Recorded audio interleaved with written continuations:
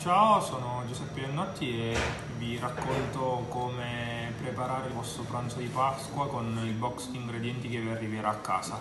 Uh, ho, voluto, ho, scelto una delle quattro ricette, ho scelto lo spaghetto allo scoglio che è il piatto che ci rappresenta maggiormente. Um, avete quattro bustine sottovuoto, una di spaghetti, un'altra che in questo momento abbiamo messo nel delis che è lo scoglio, poi l'olio con l'aglio e già il peperoncino e poi il pepe che andremo a frantumare, il pepe in grane che andremo a frantumare, io già l'ho iniziato per non far troppo rumore in camera, quindi andremo a battere con, con qualcosa per, per, romperlo anche se non avete il macina pepe, così avete anche voi il vostro, il vostro pepe che utilizziamo tutti i giorni. Andiamo a aprire subito, l'acqua sta già bollendo, andiamo a aprire subito il pacco di spaghetti. Questo è un pacco di spaghetti per due, ne utilizzeremo uno solo lo caliamo lo lasciamo cuocere 3 minuti mettiamo l'olio e l'aglio nella padella calda a riscaldare. È già pesato quindi non dovete fare nient'altro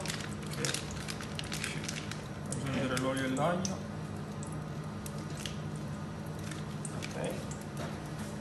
Facciamo soffriggere leggermente già c'è il peperoncino quindi siamo già in linea passiamo la pasta all'interno.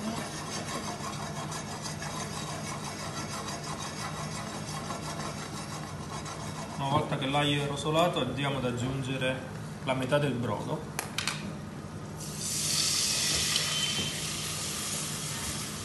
Lo lasciamo andare e aspettiamo 3 minuti. Passati i 3 minuti abbiamo scolato gli spaghetti dall'acqua. Vedete sono ancora rigidi. Li, abbiamo, li mettiamo all'interno della padella e li lasciamo idratare li lasciamo idratare come se fossero risotto quindi li andiamo li andiamo a idratare senza mai girarli perché altrimenti si spezzano, quindi solo muovendoli un po'. Se ci accorgiamo che manca un po' di brodo lo aggiungiamo. Se questo lo avete caldo è ancora meglio, però onde evitare di occupare molti fuochi abbiamo deciso di averlo in un contenitore. L'acqua non serve più. Facciamo bollire.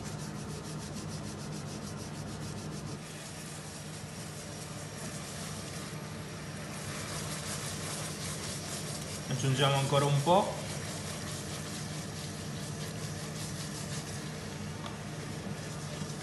cosa fondamentale non abbiamo aggiunto il sale né nell'acqua né nella salsa è, tutto già uh, corretto sia di sale che di, che di, di tutto. Quindi continuiamo a muoverla come se stessimo risottando senza mai mettere il mestolo dentro altrimenti si, si rompe.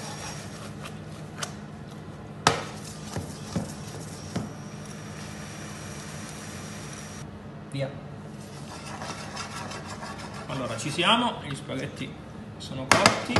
Come dicevo prima battiamo il pepe con uno strumento di fortuna un, un bicchiere io questo cilindro d'acciaio in modo tale che viene quasi con cassè.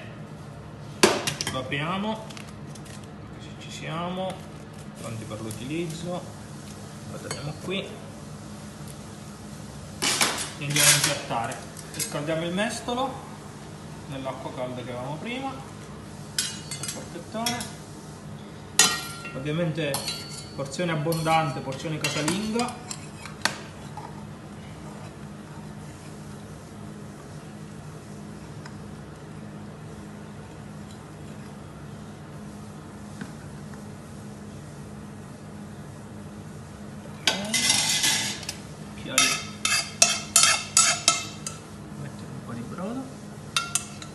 Po' di salsa